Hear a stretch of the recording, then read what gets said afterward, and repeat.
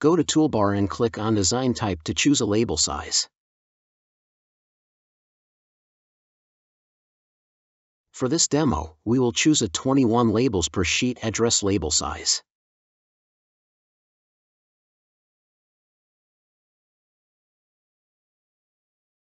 Next, let's open the Inspector side panel. Under the Personalization Tags section, note there are two tag items.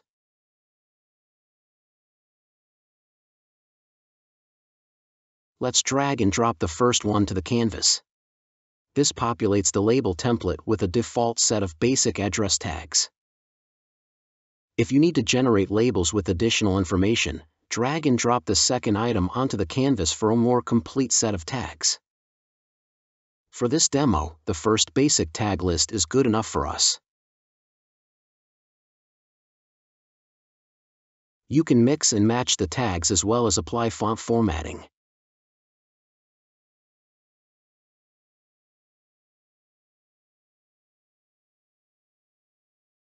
To start creating labels from Mac Contacts, go to Toolbar and choose Contacts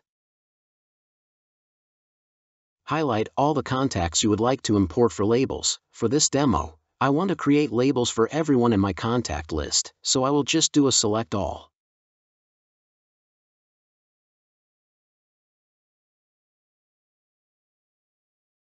I have over 100 contacts in my contact list, this will generate one label for each contact.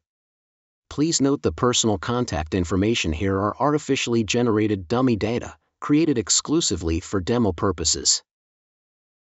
I can now review the generated labels and if needed, make edits to individual labels. To review generated labels, go to Toolbar and select Label Listings.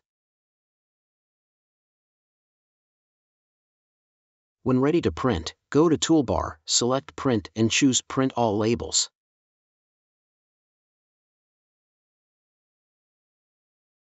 For this demo, this will print all the labels generated from contacts, all five sheets of over 100 labels.